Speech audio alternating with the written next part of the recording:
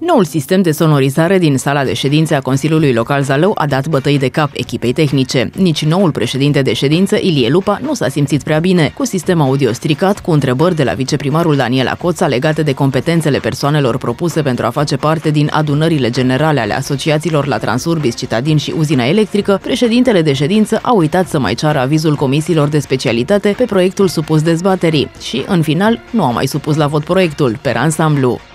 1, 2, 3, probă de microfon. Stai jos, mă! Duce după Violeta. Violeta, nu, tu îi spune.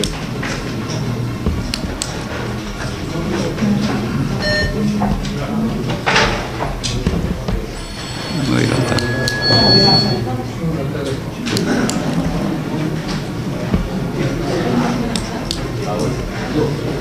Acum s-a stins.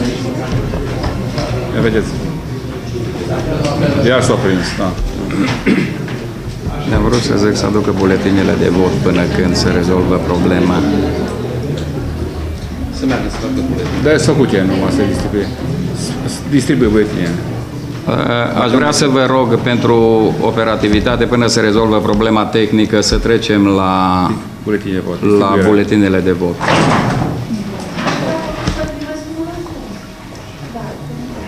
Deci acești oameni vor fi reprezentanții Consiliului Local în adunarea generală a asociațiilor la cele trei societăți în subordinea Consiliului Local. Ce recomandă, cine sunt oamenii aceștia, care le este experiența până la urmă, nu? Este vorba despre transportul public local, care este un serviciu public. Este vorba despre uzina electrică, mă rog, care mai are, ce mai are ca și obiect de activitate. Și este vorba despre citadini, care printre altele se ocupă în mod special cu întreținerea orașului și are foarte, foarte multe lucrări care țin direct de primăria Zalău și de Consiliul Local.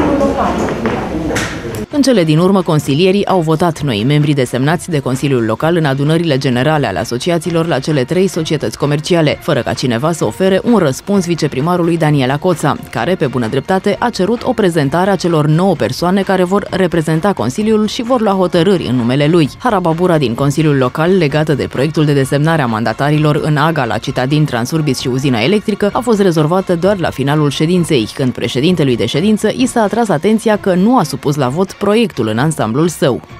Înainte de a închide ședința, vă supun totuși atenție că ar trebui să votăm proiectul de hotărâre numărul 2, pentru că au fost unele modificări în ceea ce privește durata pentru care se desemnează aceste persoane și trebuie supus la vot, adică n-am hotărât nimic.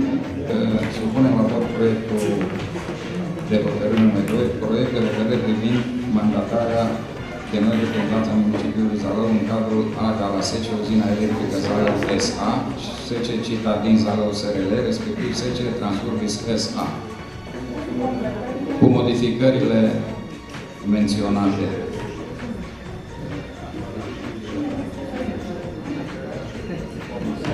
Cine este pentru? Abțineri?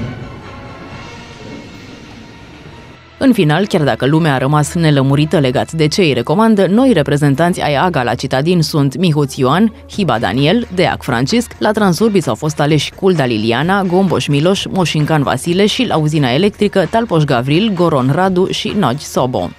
No, no, no, no, no, no, oh, no, no, no, no, no, oh, no, no, no, oh, huh?